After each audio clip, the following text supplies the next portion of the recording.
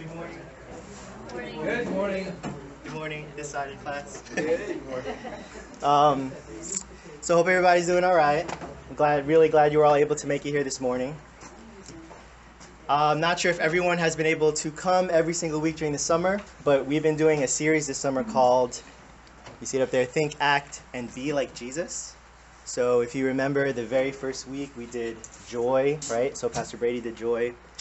And if I were to be completely honest, when I heard Pastor Brady's teaching, I felt like I could just take his notes, find all the words of joy, and replace it with hope, and just repackage that and give that to you today because I felt like a lot of it was very relevant to what we're talking about, which is hope today.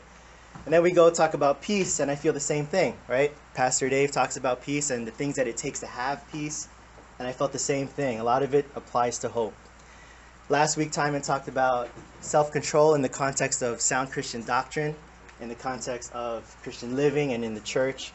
And this week, we find ourselves with the characteristic of hope. And, and going back to what I was saying, how everything is related.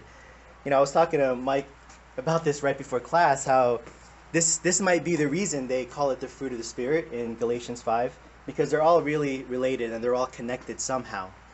So, with that, let me just open up in a word of prayer before we begin. Heavenly Father, uh, I want to thank you so much for bringing everyone here this morning. Um, thank you for waking us up this morning, giving us this opportunity to delve into what I think is a very important topic, the topic of hope. I pray that you would empty me of myself, fill me with your spirit, guide my words, guide the things that I emphasize, and open up all of our hearts to be able to receive what it is that you have for us, to empty us of any distractions that we might have, and to just focus on what you might want to say to us. Thank you for this time once again, Lord, in Jesus' name. Amen. All right, so like I said, um, I do think that hope is a very important topic. I think it's a fascinating topic. One of the reasons I think that is because I believe hope is very closely tied to one of the big questions in life. So you hear about these big questions in life, right? I think hope is very much tied with the, the question of what is the meaning of life? That question can be stated in many different ways. What is my purpose in life? Why am I here? What brings my life fulfillment, right? But they're all saying the same thing. What is the meaning of life? I also think that hope has a lot of power in it. The moment you take hope away, what do you have? You have depression, right? And and that's why with a topic like hope, it can be very big, but at the same time, it's something that affects our day-to-day living, whether we realize it or not, whether we understand how that truly or fully works. So let's start a little bit small. I want to start with just one concept and then build off of that concept as, as we continue our discussion here. So that concept is this. The things that we place our hopes in, um, if you can't see, I'll, I'll read everything that's on here. The things that we place our hopes in reflect what we believe gives our life meaning and purpose.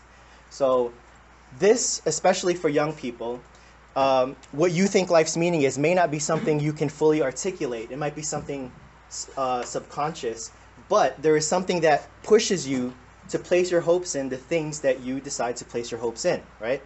So, let me start with a question outside of the Christian worldview, what are some of the things that people place their hopes in? What are some of the things that people place their hopes in in order to achieve what they believe is the purpose of life? Maybe it's happiness, then they place their hopes in certain things. But outside of the Christian worldview, what is it that gives people purpose and meaning in their life? What do they place their hopes in? Job. Job, that's a big thing. Career, professional security, Family. family. You can kind of broaden that into um, their children, right? Your spouse. What else? Social endeavors. Social endeavors. You, you. I want people to like me, to love me. Well, that's part of that. Getting attention and losing weight, right? Because for some reason.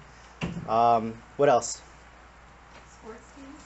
Sports teams. yeah, I, I mean, people pour a lot of energy into sports teams, right? And they become very uh, involved with that. Money, yes. See, that's see, Tim. Can I have some of that? Now, Tim, Tim was was showing money, and, and that's hugely, you know, the the accumulation of material wealth becomes the thing that people place their entire life on. They focus on that, and nothing else matters, and they place all their hope in that because maybe that's what's going to make them happy. That's what's going to give them security. They think life is all about those things. Anything else? Some social causes. Social causes, exactly. Um, So I, I was I was at Whole Foods yesterday preparing for this, and I met this really great guy, and he was all about social causes. He was like the president of this uh, not-for-profit organization doing amazing social work around the world. And I asked him what he thought the purpose of life is. He said, uh, "You make what you, your purpose of life is what you make of it." For me, it's it's doing this to improve humanity, to improve the world. And it's interesting when you go into what he believes spiritually and other stuff. But anyway, so yeah, doing good, bettering humanity, social work, social justice. Um, anything else? Spiritual. Some people they turn to spiritual enlightenment, right? Because they think that uh, spiritual enlightenment will give them what will fulfillment. Um, there's also pleasure in experiencing as many things as possible. So people put their life into traveling the world, experiencing new things. And then there's people who just they admit I don't know what life is all about, right? They don't know what the meaning of life is, but if they think that if they get certain things, it's going to shed meaning on that question and they'll be able to figure out, hey, this is my purpose and this is what life means. So everything that we've said and discussed so far points to what hope really is. Hope has two components to it, as the dictionary will tell you. The, uh, the two components are desire, here it is, desire and expectation. So, for example, this desire and expectation can be expressed in many different levels. I can go to go to a movie and say, "Man, I really hope this movie's good," but I've heard not so great things about it. I could say that I, I did really well on this job interview and I hope I get this job. And on another level, I could say I just did some medical tests today, I got some blood work done. I'm really hoping for some good news. So with all of those things, there are different levels of desire. Your desire can be very strong or not so strong. Your expectation can be very high or it cannot be so very, not so high. But in the deepest sense of the word hope, which is what we're going to focus on today, in the sense of the word of hope that matters the most, hope is the things that we want the most. It's the things that we think will truly satisfy our deepest desires. Again, whether we know what those deepest desires are not. So that's really what we're going to focus on when we, or the definition of hope that we're going to focus on as we talk about today. Next question is why is hope so important? So, in order to um, explore this question, I just want to use an illustration. So, for example, I'll pick on Kevin and Brady. uh, so let's say Kevin and Brady end up in prison for some reason. I don't know why, you can use your imagination. Brady and Kevin have the same exact schedule. So Brady and Kevin wake up early in the morning. They go into breakfast, right? And Brady, when he gets his breakfast, he's just thankful he has food, you know. And he's just like, all right, it's all right, but I'm I'm, I'm glad that I have something to eat today. But Kevin, when he gets to the cafeteria, he's like, man, this food is horrible. They need to do something about this. This is not like the food that I used to enjoy, like my steak and my hamburgers back when I was home. And then when they get into like the work that they're doing, Brady does his work very efficiently. He's like, I need to do a good job here, and uh, I, I, can't, I can't mess up. And then Kevin's just like, man, this is boring, this is tedious, and he's complaining about all the work that he's doing the entire time that he's working. Then they get into recreation, and Brady's, Brady's, people are messing with Brady, and he's just like, I'm gonna stay away from these people. I don't want to get into trouble. And Kevin's like, Nah, I'm a man's man. And you can't mess with me. So, see, I know you. And then you find out that, well, Brady's in prison, but his sentence was only one month. He knows in a month he's going to be out. On the other hand, Kevin, he earned a sentence of life in prison without the possibility of parole. So, what does that tell you about how people experience their present in terms of what does that tell you about hope and why it's so important? Has anyone been, been able to make that connection? It just seems like it's an outcome. Like you're, like for us, our outcome is heaven. So Yeah. hope is heaven. And we look forward to that. hmm context. So it's a it's it's got something to do with what we're looking forward to, Right. right? Your expectation, as we said, what we're looking forward to, exactly. So just to state it briefly, it says, our beliefs about the future radically affect how we experience the present. Do you believe that? It's very true. I think that's very true, because Brady and Kevin will be in the they're in the exact same situation, but because of what their beliefs and hopes are about the future, it affects the way they experience the present. This can apply to anything. This can apply to two people who work the exact same job, but there's a huge disparity in their salaries, right?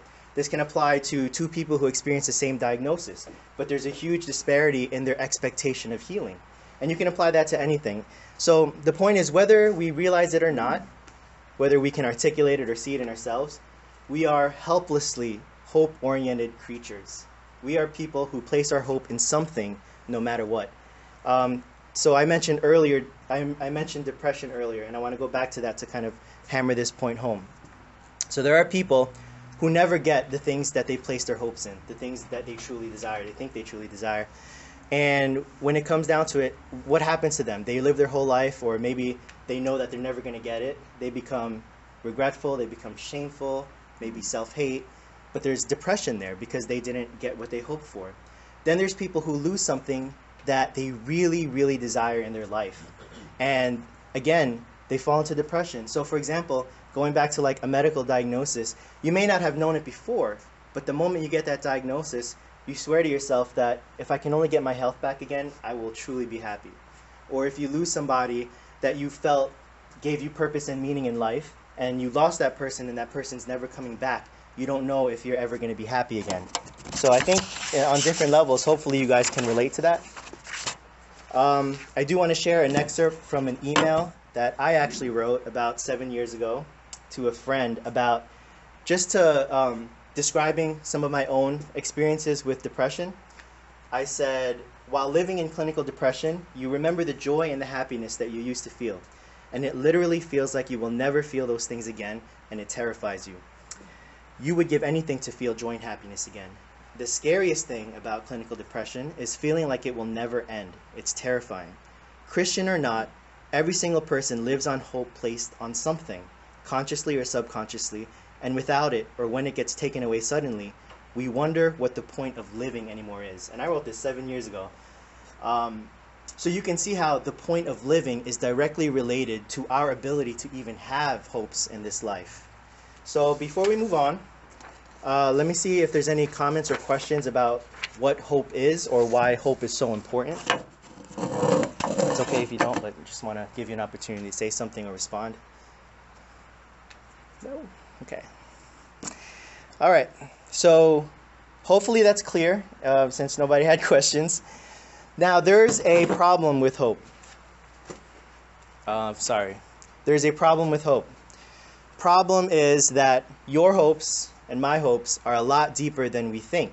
So we think if I can just get this, or if I can just reach this level, if I can get married, if I can find true love, if people can respect me or admire me, if I can write this book, if I can have children, if I can lose 20 pounds, if I could get this bigger house, we think that if I can just get this, then it'll make me happy. It'll bring fulfillment in my life. It'll, it'll be something I can find meaning. So we, we spend our entire lives chasing after these things only to find what? That nothing in this world can truly satisfy us. And I forget who said it, but somebody called this the life lie. They said, This is the life lie. We think that these things will make us happy, but they don't.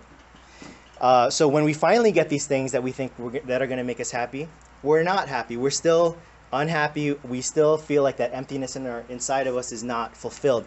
And many people get to that point where they realize that these hopes that we have, that we're trying to find fulfillment for in our lives, they're actually insatiable, which means nothing can ever truly satisfy them.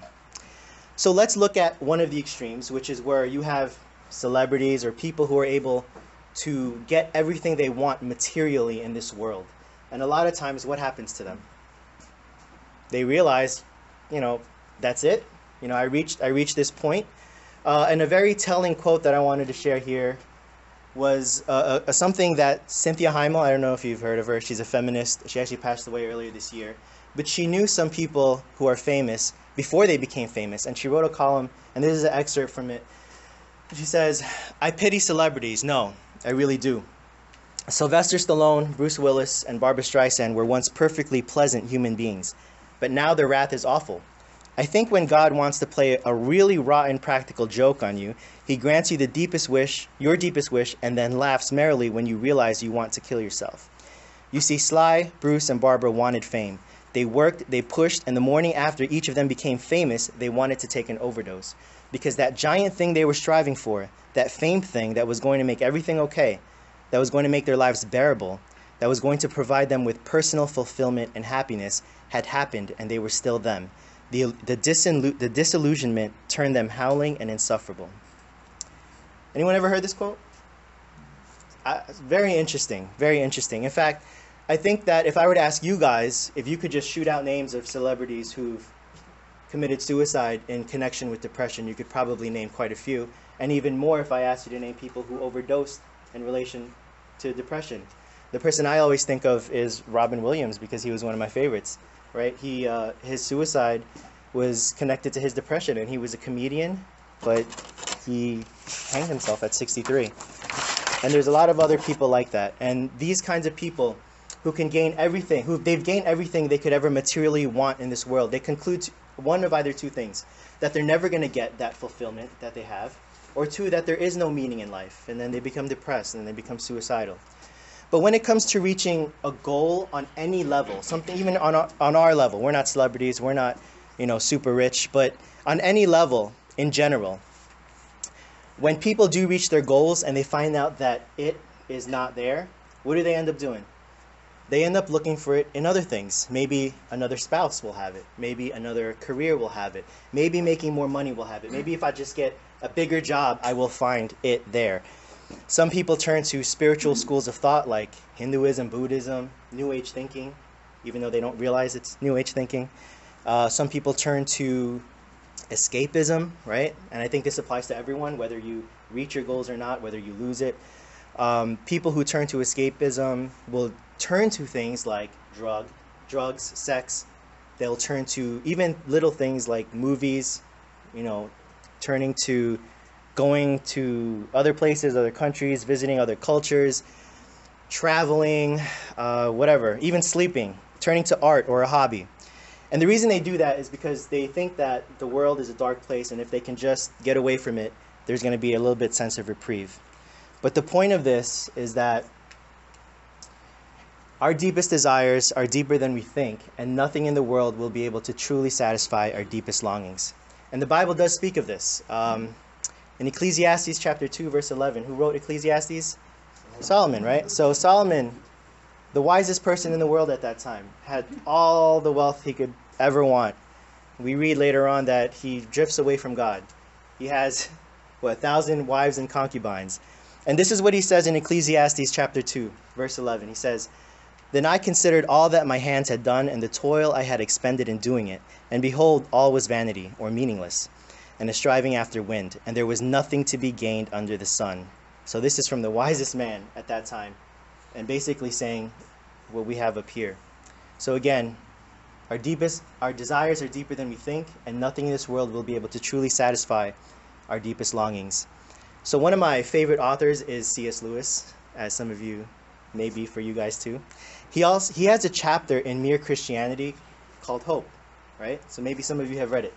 In this chapter, he says this. Um, most people, if they had really learned to look into their own hearts, would know that they do want, and want acutely, something that cannot be had in this world. There are all sorts of things in this world that offer to give it to you, but they never quite keep their promise.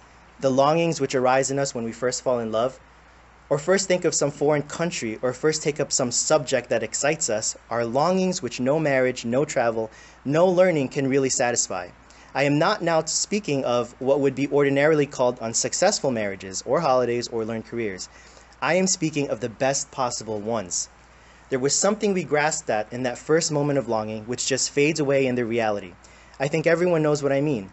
The wife may be a good wife, and the hotels and the scenery may have been excellent, and chemistry may be a very interesting job, but something has evaded us. So let me pause once again. Any questions or comments about the problem of hope?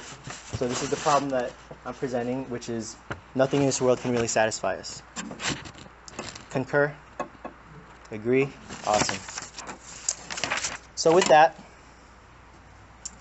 let's see what Christianity has to offer. Right? So everybody is searching for the meaning in life, or they think they have the answer to it. Certainly, every religion will offer you an answer to what the meaning or purpose in life is. But I believe that Christianity alone is the worldview that can offer you an answer to this problem that is coherent, that corresponds to reality, and also sufficiently explains all of the subtopics that come with this problem. So, subtopics like a reality beyond the material world, the existence of a soul, the nature of man, and a whole lot of other things. So, we're going to look at what Christianity has to offer. And I want to start by showing this clip of Tim Keller where he shares some pretty profound insights from J.R.R. Tolkien. Who was J.R.R. Tolkien? He wrote The Lord of the Rings. So let me share this uh, video real quick. Tolkien predicted, rightly, that human beings, including adult human beings, would never, ever, ever get past their insatiable desire for fantasy fiction. And here's what he said the reasons were. He says, take a look at, at fairy tales and science fiction. Here's what you have in them. You have stories in which people escape death, in which they step outside of time, in which they uh, have communication with intelligent beings that are not human, in which they have love that they never, ever lose, love without parting, and in which evil completely is, is defeated by good. Good triumphs over evil. Now, he says when you, the reason why human beings keep spending billions and trillions of dollars to read or watch or consume stories like that, what we call fairy stories, is because we are endlessly fascinated by these subjects. Even when we know they're fiction, of course, even though we know it's not true. But there's something deeply consoling about a well told story, realistically uh, depicted, in which people escape death and live forever, or have love without parting, or communicate with non human beings, uh, or uh, step outside of time. We're just fascinated by, by it. We have this incredible appetite. Why? Because we want those things. It's the reason why real life will never satisfy us.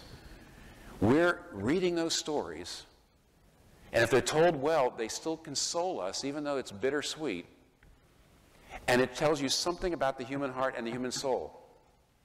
The human heart and the human soul wants those things. We, and we can't not want those things. Well, that's ridiculous. That's silly. Life is over. When you die, that's the end of it. You can't escape time. You can't have love without party. Everybody you love, you're going to lose. They're going to go away from you, or something's going to happen, or they're going to die, or you're going to die. This is silly. Why do we keep, why do we keep reading and watching these stories? Tolkien says, because that's what the human heart wants. And realistic fiction cannot scratch that itch.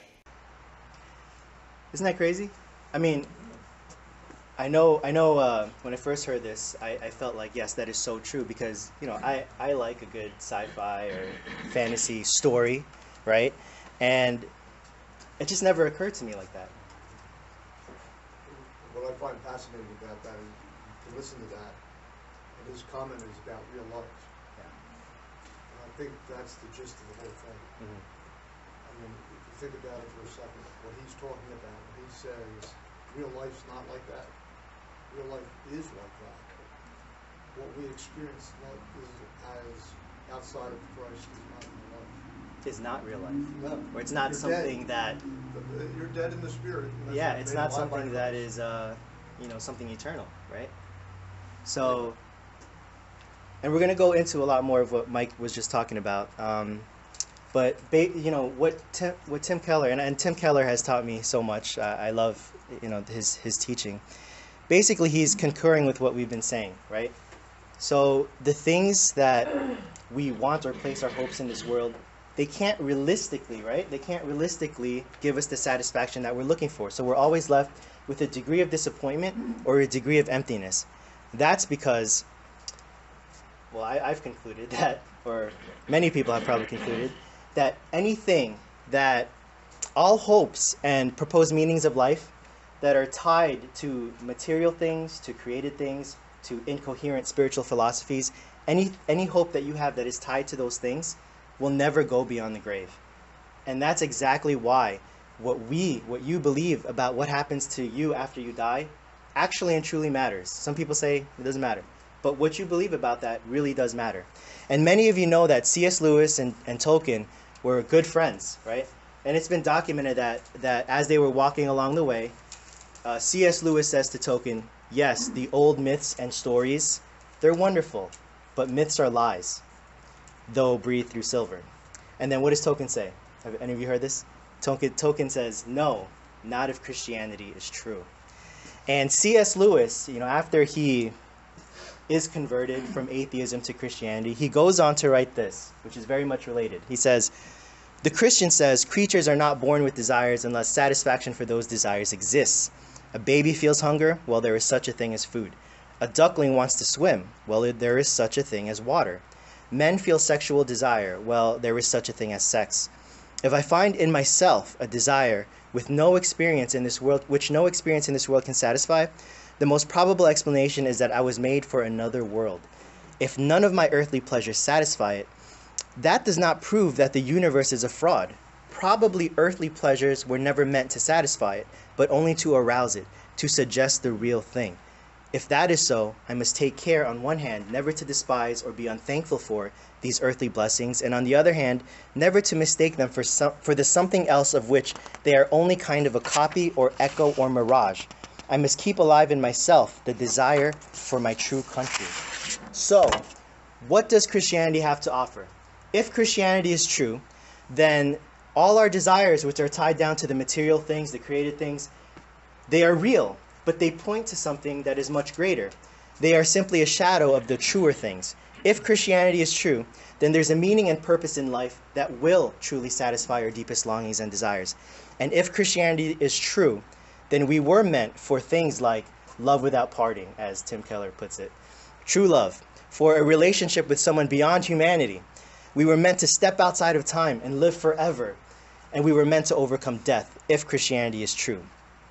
So, those of you who know me or may have heard me teach or speak in some capacity have probably heard me say this, but I will always keep saying it, I'll say it again. I understand why we tell our children to accept Jesus into their heart so that they can go to heaven and not go to hell. I understand. But there has to come a point where we give them more because the gospel is much more than that. If that's all the gospel is about, then what hope do I have in this life? Why should I care about other people? Why should I care about what happens in this world? And having that mindset, I think, many times helps makes people go into extremes with their Christianity because they only receive a truncated part of the gospel, or they're not able to, to piece together the many different parts of the gospel that get thrown at them at, at different times in their life. and when I say extreme, I'm talking about people who hold those picket signs in very inappropriate places, people who blow up abortion clinics, um, extremes where people walk away from the Christian faith because it's not relevant to them. They don't understand how, what is this, how is this going to help my life? And then there's everything in between. So, what is the gospel? The gospel tells us that God created a perfect world in the, in the beginning.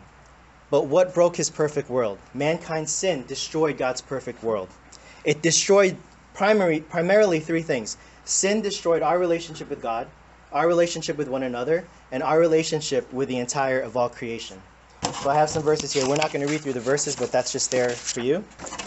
Um, but despite our sin breaking God's perfect creation, it was God's amazing love. So there's that love without parting part. God's love provided a way for everything to be fixed. What sin destroyed, He provided a way for it to be fixed. This is the true reason that Jesus put on human flesh. This is the true reason He came and died for the sins of mankind. It was to reconcile us back to God, which is that relationship with a being beyond humanity part, but to reconcile us back to God, to reconcile us with one another, and ultimately to reconcile us with all of creation. So, yes, going to heaven, it's part of that. It's very much part of that. But that's not the main thing.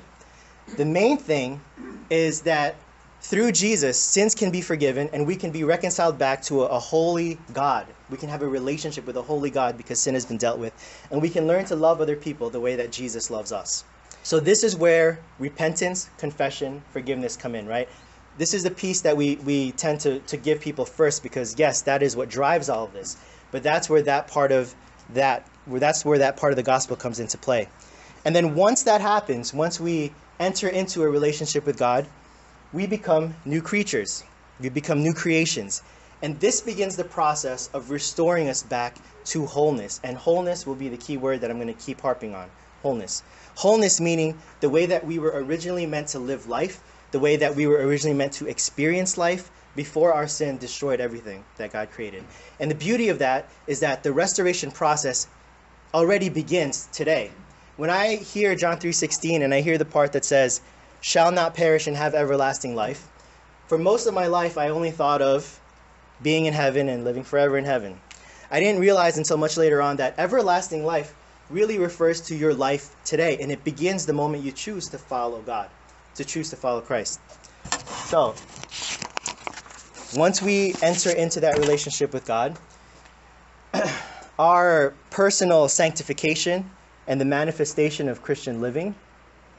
I just want to make sure I have the right. There you go. Okay. Our personal sanctification and the manifestation of Christian living. This is part of the process of experiencing life the way that it was meant to be lived. And then when we die, we have the promise of spending eternity in the presence of God because of what Jesus Christ did for us. What does that mean? That means we as Christians, we have a hope that is twofold. We have a hope that is both in this life, but also a hope that goes beyond this life, and the afterlife, after death. And there's that overcoming death and living beyond death part of fantasy that we that we tend to be fascinated over. So, Luke chapter 8, verse 1 says, Soon afterward, Jesus went on through cities and villages, proclaiming and bringing the good news of the kingdom of God. I have highlighted the words good news of the kingdom of God. Good news is what? The gospel. That's what the gospel means, right? Good news means the gospel. Luke is telling us that the kingdom of God is the gospel. In Matthew 24 14, Jesus says, This gospel of the kingdom will be proclaimed throughout the whole world as a testimony to all nations. Everywhere that Jesus went, Jesus spoke about the kingdom. It was very central to his teachings.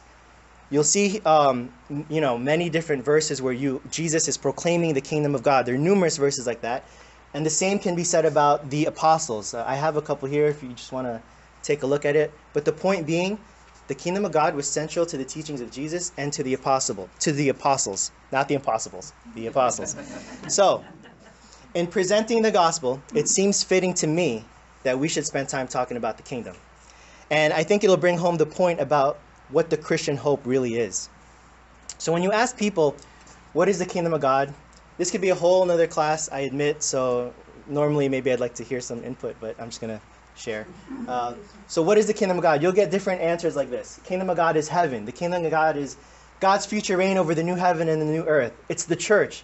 It's in your heart. It's spiritual. It's social reform. And the answer really is they're all right, right? So there's an element of truth in each of these answers, and they're all connected somehow. So here's a few things to remember. Um, I apologize if you can't see that. Yeah, I don't know. Uh, you can, can you see it? So there's a few things I want you to remember about the kingdom of God. Again, not going to be able to go too deeply into it, but the main things I want you to see are the kingdom of God is present but future. It is here and it is near. So we see that the kingdom of God is already here, but not yet here in its fullness. And, and if you've heard of this word, this term, they've coined the term "already not yet" to describe the kingdom of God. Has anyone heard that? Already not yet? Yes.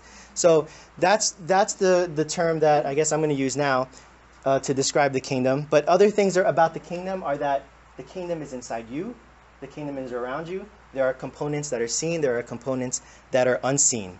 So we're not going to go through all these scriptures, but it's a very good study if you want to dig deeper into it. And in the very first class where we talked about joy, Brady actually talked about this already not yet aspect of the kingdom. And I think this is what ties it all together. So I want to go a little bit more into what does that mean already not yet?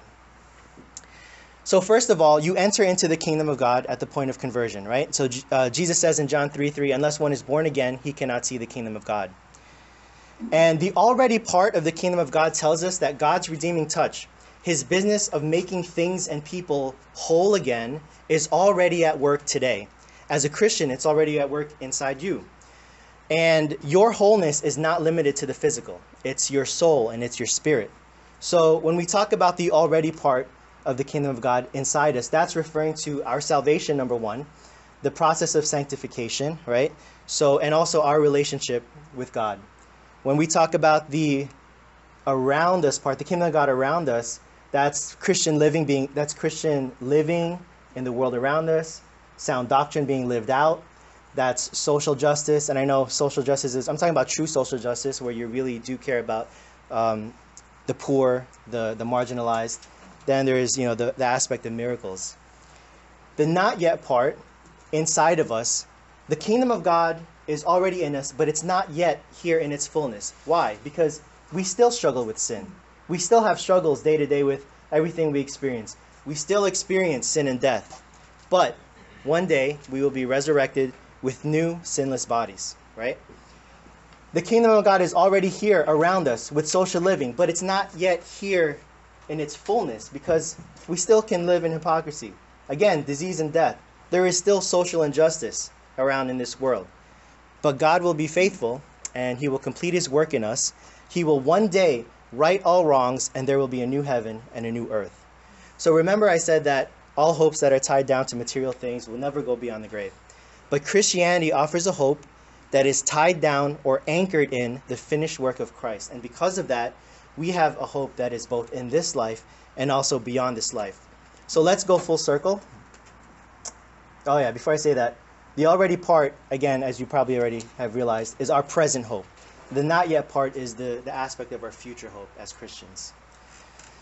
So, what does Christianity have to offer? What is the purpose and meaning of life according to Christianity? The purpose and meaning of life is the pursuit of the kingdom of God because now you understand what the kingdom of God is. It's the pursuit of the kingdom of God inside us, around us, and the process of becoming whole again. What do we place our hope in? We place our hope in the finished work of Christ in Jesus.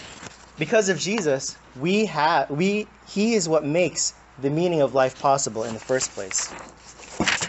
Any questions or comments? I just want to make sure I everyone understands so far. Hopefully that was clear. Give you a chance to talk. All right. So lest I leave you with an impression that once you become a Christian, you never become hopeless. I just want to spend a little bit of time talking about when Christians lose hope. So, when a Christian falls into hopelessness and despair and depression, what is some practical advice that we can give? Or even for ourselves? Um, surely many people, not just me, have fallen into that. Or maybe you're feeling that today. So, what kind of practical advice can we give to a Christian who has fallen into hopelessness? Read your Bible. Read your Bible.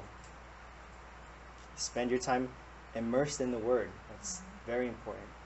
I think in like the most loving and gentle way possible, try to find the core of it because it means they're idolizing something which you don't like to think about during depression. Yes. Like you're idolizing something, but you're putting your hope into something else. And Yes. depression does not come from hope in God. Yes. No fear. Fear. All fear has to leave when we have hope in God. So finding the core of it, finding what they're putting their hope in and their trust in in this world, and doing our best to turn Yeah. from it. Yeah, that is. I think that is extremely important, and I think you hit the nail right on the head, because, and I will say this: that a lot of times, the core of our depression is self, right? So one of the best definitions I've heard of sin is putting self over God, and a lot of times the reason we're depressed is we, because we choose or we can't yield our will to God's will, and, and it's, whatever the reason is, you're essentially placing or you're idolizing something else over God. You're placing yourself and your your self desires, and I realize that that's a very hard truth to to come face to face with. Um, I know years ago when when I saw a Christian counselor for some of the things I was dealing with, that's what he told me. That's exactly what he said, and it was hard for me to accept it. But that but accepting that and and understanding how that applied to me is really what the first step towards my, my own healing. So so thank you. Yeah, that was very very on point. What else? What else can we say? Then, sorry. You sure? Positive. Okay. Um, be available, I think. I, I, I'm not one that dwells in the mercy thing. In the what? Mercy thing, like I, I usually, you know, you know what I mean? But the truth is, is that I think listening and asking questions Yeah. is better than maybe statements a lot of Mhm. times because you're always trying to draw out them to conclude to something rather than just telling them what they Right. Now, right. there might be practical advice, and I think maybe Yeah. that's what I was trying to dates. However, I think it's all just be available. Don't be condemning. You know, there's so much tone. Kind Mm-hmm. There's of a way to say things, right? Questions. Yeah. And try to get them to maybe look differently, not just tell them they got to look. You know what I'm saying? Right, like right. look at something. Yeah, yeah, and and I think that's similar to something Mike said a couple weeks back, just to be available, to be there, to listen, and and a lot of what you said does ring true. Where you're not, uh, the way you say things does matter, and the way that you relate to people, and a lot of times people can't be receptive, even though you're saying the right thing, but if you're not saying it in the right way, and I think being there is is a huge thing. Um, if you have a brother or sister who is in that, so there is one more thing. I was just gonna say, well, a couple of things. One, we have to realize that there are different kinds of depression. Yeah. Sometimes yes. there really yes. isn't a root cause. Like Mhm. we often think of have gone through some things. Right, right. It's not always the case, and a lot of times they don't know why they are as depressed as they are. Right. But the one thing I think is huge is what we keep saying. I mean, the truth of the gospel is still the truth. Yes. And God is He is the only thing that is always going to be exactly what He said. is. Yeah. I mean, so even even when somebody, I think when you are dealing with depression, even if they don't know why they're there, God is still Yeah. love and He is still truth and He is still can be their hope Right. And their mindset can still change. So I'm not saying that um, you know you should always just stick to spiritual guidance and maybe you know taking medication is appropriate at times. Sometimes people don't know why they're depressed. Yes, but when we speak, I, I love what you said because when we speak truth into them from Scripture, it doesn't come back void. It's gonna it's powerful and it can still help them if if that's what we're speaking into their life. So yeah, yep. like super honesty right now. Mhm. Like this is my first day, like first Sunday out of a mental like a mental hospital, right? Yeah, I hear you. Like it's tough. Mm-hmm. And that's the thing, and I appreciate that that honesty. You you don't really know a person's story, right? And I think that's connected to what Kevin was just saying. And you really need to be open to listening and to asking questions and the way that we speak to them. So I appreciate that. Yeah. I, feel like in my experience with, you know, being there for friends who are, who are going through depression or hard times or whatever, um, and you have to be very careful because it doesn't always work for everyone. But sometimes sharing your testimony can be helpful as well, can, can be powerful. Um, kind of showing them that maybe you're not, you haven't gone through exactly what they're going through. Yeah. Or even if you have, everyone's story is Yep. But maybe kind of just letting them know about a time when you were you were, you were how you overcame. Yeah, and I think that's one of the uh, things that when you are going through your own stuff, you know, we should be asking ourselves, you know, what, what is God trying to teach us? And also realizing that what we go through can help somebody else in the future. And that could be part of the reason that you experience some of the things that you do in life. So that's very true. Yeah. Um, from like a, a practical standpoint is like, I think, I think of two things. Mhm. One is the more, the more practical side of not invalidating Mhm. what they're going through, acknowledging how real it is, because their perception is reality at that moment in that time with what they're going through. Right, It's very right. real. And to acknowledge it for the power it holds in their life at that time. Yeah. And then I think of, um, just what, this is really the way to say it, but the fact that God is outside of time, Yeah. right? God's completely outside of time. He's already seen that this has happened. He already knew that this was happening, whether it was because of sin or whether it was mm. just because you don't exactly know what's going on and it's just a dark time of depression or whatever it might be. But God's outside of all that. He's already seen you on the other side of it. He already knows if or how he's going to use that. And he was there before it. So the fact that he's outside of whatever parameters of Right. this life we have. And trusting in that, knowing that we can trust in that. That's a very good point. I say that all these things are so true. It, it seems like different people can gravitate towards different solutions, and there's like so many different ways that a person can be helped. It's a, usually a combination of, of several small things that can help Mhm. you a lot to get started. That's true. One of the things that helped me a lot was uh, in Psalm 42 where it says, Why art thou downcast, O my soul? Why so disquieted within me? Hope in God, for I will yet praise him, who is the help of my countenance and my shield. And it's like talking to yourself, building in the habit of talking to yourself and, and uh, questioning yourself. Why are you allowing yourself to feel this way when you know there's plenty of reasons to rejoice?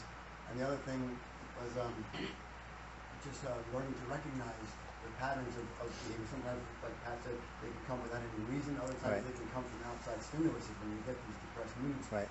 And uh, sometimes recognizing that you can write in journals, it can help you to see when there was a pattern or something negative that happened to you, Right. or whether it just kind of came upon you, like, like a spiritual oppression from. Uh, Yeah.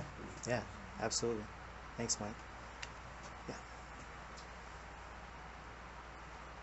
I believe that our Lord is in uh, the process of preparing his people, the body of Christ, to be his bride. And um, just as a personal illustration, when I first came to the Lord, I was older and I was embraced by people of faith. I was included, I was getting a lot of help and, you know, and, and uh, a lot of positives.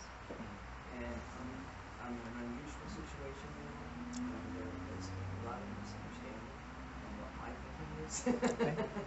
Yeah. And um, I have, in some locations, not here, but in some locations, been ousted Hmm. defending God. And um, unfortunately, slander accompanied that and traveled many miles, even all the way to Kentucky, where the Hudson Wow. family lived. And um, this is why I was focused on forgiveness when I was talking to Yeah. some of the rest of the folks. Yeah. No. Yeah. I remember. Because I think we, we need to, um, as a body, we need to reflect the Lord's love not only to the outside world and unsaved, but to one another. And um, to be each of us individual, of course, that was working to each, to from Yeah. each of us to his image. And um, but I think as a body, like one saying hands, hands and feet, and that kind of thing, to work for us uh, together so that um, we'll make a difference in the world for, for his purposes. Yeah. And showing that love and doing our part. I'm sorry. And showing that love that you were talking about, and, and doing our part as the body of Christ. Well, Yeah. and, and inclusion, and not condemning and Yeah. ousting somebody because you don't like what Or at least handling say situations in an appropriate way, right? Or at least handling situations Yeah, in an appropriate way. confrontation is Peace not- and love. And peace and love. Yes, not absolutely. wrong. I'm not saying that, but it's it's uh, Yeah. it's this is re- reached unusual extremes.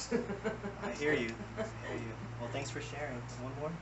I was, um, I'm kind of studying this summer about contemplative prayer and thinking about, there's, a lot of times when we have an issue, we want to do, do, do. What can I do about it? These are the steps to do.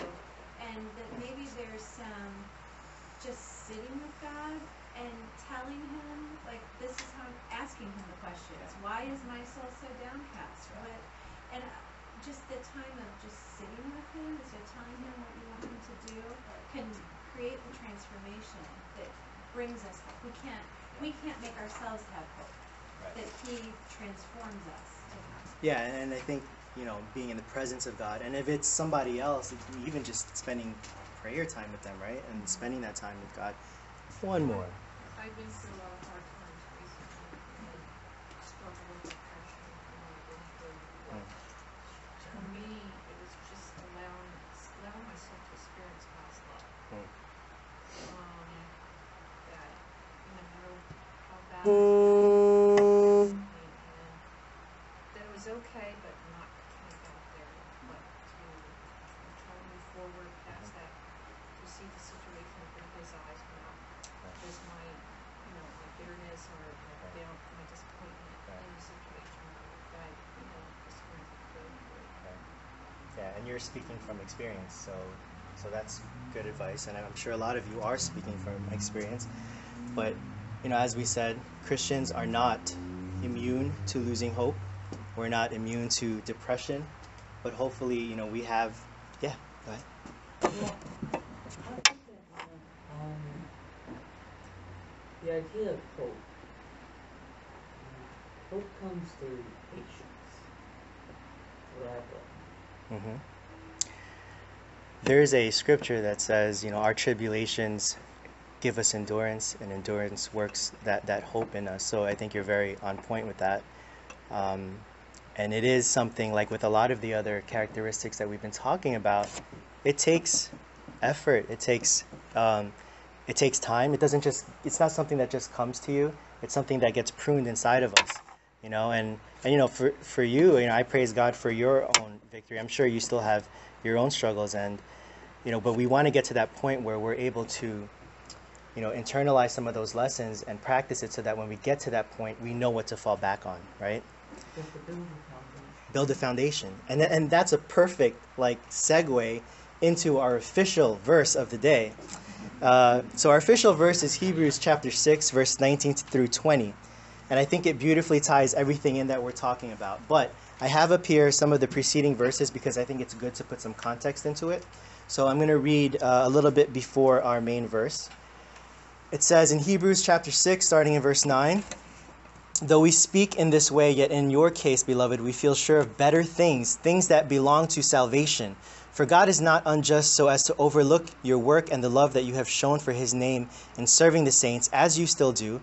And we desire each one of you to show the same earnestness to have the full assurance of hope until the end, so that you may not be sluggish, but imitators of those who through faith and patience inherit the promises. For when God made a promise to Abraham, since he had no greater no one greater by whom to swear, he swore by himself, saying, Surely I will bless you and multiply you. And thus Abraham, having patiently waited, obtained the promise.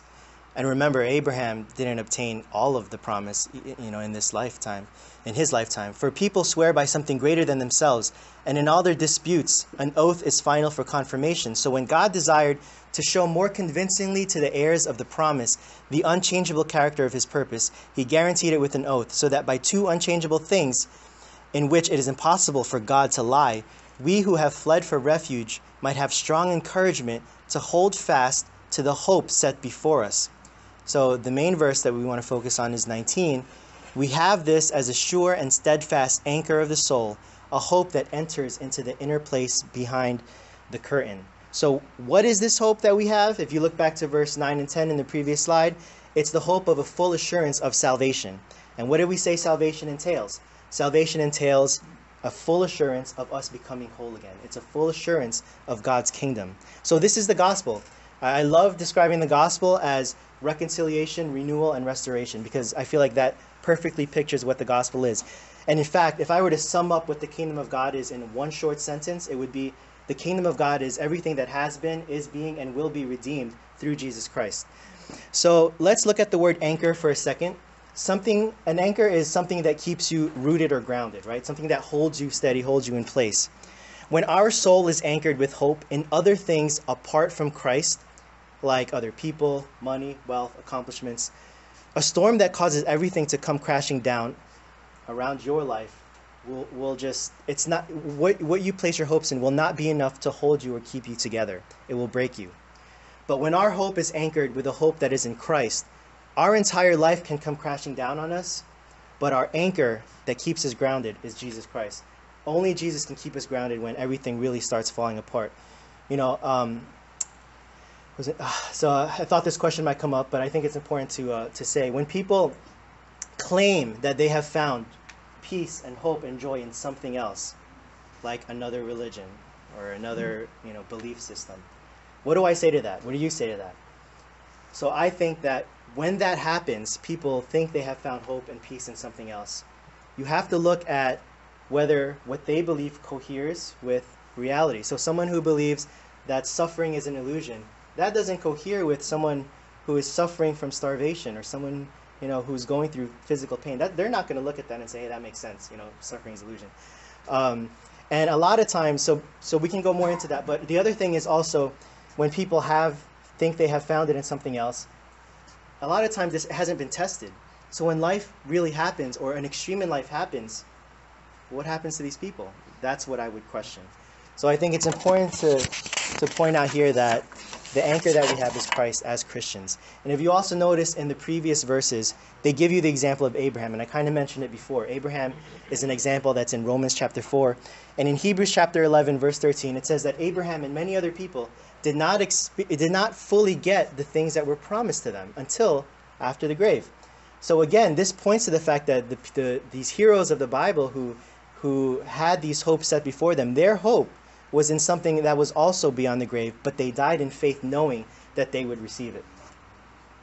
And then the second part of our verse for scripture passage for today is um, we have this as assurance steadfast anchor of the soul, a hope that enters into the inner place behind the curtain, the very presence of God, where Jesus has gone as a forerunner on our behalf, become a high, having become a high priest forever after the order of Melchizedek. So, what does that mean? Um, in the next chapter, it delves more deeply into Mel- the topic of Melchizedek. Chapter 7, it brings up Abraham again in this context. It talks about a change in the priesthood, how that was needed, and with that came a necessary change in the law. And I do want to read a little bit of chapter 7. In chapter 7, starting in verse uh, 19, it says, For the law made nothing perfect, but on the other hand, a better hope is introduced, through which we draw near to God. And it was not without an oath, for those who formerly became priests were made such without an oath, but this was one but this one was made a priest with an oath by the one who said to him, The Lord has sworn and will not change his mind. You are a priest forever. This makes Jesus the guarantor, guarantor of a better covenant. So I think that last verse sums it up very well. Jesus is our forerunner. He is our great high priest who entered first into the presence of God, and because of that, you know, a forerunner is someone who goes first where others follow. So we can follow Jesus into the very presence of God. And that is something we can do now, today. And we can experience the, the gifts that God gives to us, the, the gifts of the kingdom, and that it, in our daily living now, and have that actually be relevant to our lives right now. So, is that it? Yes, that's it. So that's that's what I wanted to share today. I do want to uh, I want you to keep in mind that you know we're talking about hope and but the but proving whether Christianity is true or not that's kind of out of scope of our discussion today in class. We can definitely go into it, but for a lot of people, they're not really interested in digging into Christianity unless they can unless and until they they can see that if Christianity was true, that it would actually make a difference in their lives, that it's actually relevant to their lives. So hopefully that was helpful for somebody today, for people today. Uh, before I close, was there any last thoughts or questions? kind of thought compared to what you sharing there the intimacy with God. I'm seeing it for the first time I never really saw it before. The Mhm. inner place behind the curtain, Yeah. connected to the anchor, where your anchor is in that place of intimacy with God, where the high priest was only allowed to go there behind the curtain. Mhm. When Jesus died, we all know the curtain was ripped. So Right, now every right. time each one of us goes into our prayer closet, we're going behind that curtain. that That's right. to go to. So we have the intimacy with God, and when you establish that and maintain that intimacy, you have that anchor. So when that big storm hits you and everything just falls apart, your chances of, of making it through that storm intact are going to be a lot better. Right, because right. You're anchored. And the other thing I'm saying is the high priest part is that we're all priests as well. The Bible says in Revelation, Mhm. you're a kingdom of priests, Mhm. royal priesthood. And as long Yes, as we're functioning in that priestly role, which means maybe when I feel most depressed, it's when I need to go to the nursing home and encourage somebody else. And when we begin Right, to function in that high priestly role, then the Lord helps us to get rid of that, uh, what I think Chuck Swindoll called the inball, inward eyeball-itis. How do we better function in that role? How do we better function in that role? It's it's only through staying in the Word every day. Right? Yeah, right. Like it's only through being in Scripture and just constantly being in overflowing power. Yeah, immersing yourself in those things, immersing yourself in the presence of God in the scriptures. In priestly state. Yeah. In that high priesthood. And it's a good point because if, if you know about some of the things in, in the Old Testament, we're past that veil where only the high priest was able to go, eh, only once a year even, and he had to offer a blood sacrifice. Now we have, if you compare that picture of how much, of how difficult it was, right, back then, and then we know in the New Testament it says that we can come boldly before the throne of grace. It's such a contrasting difference. But we have that. We have direct access to the presence of God because of what Christ did. And I think what you guys ended was just like exactly on point because, you know, when I speak to people who are depressed sometimes, one of the things I tell them is just really be conscious and make an effort to immerse yourself in things of God. And it's, it's bound to have an effect on you. So, anything else? All right, so let me close in prayer. Heavenly Father, um, once again, I, I thank you for this opportunity to talk about hope, such such a really important topic that I think affects each of us every single day. I thank you for the hope that we have in the gospel. I thank you for what you've done, allowing us to have this beautiful, beautiful hope in, our, in ourselves because of you, a hope that we can latch onto that anchors our very soul, that tells us that, you know, we were meant for something we were meant for something better, and you have provided that way for us. I pray that we would be able to live our lives in this hope, to live our lives in the present hope that we have, that you give to us, affect that change inside of us, allow it to be something that we live out so that other people can feel that.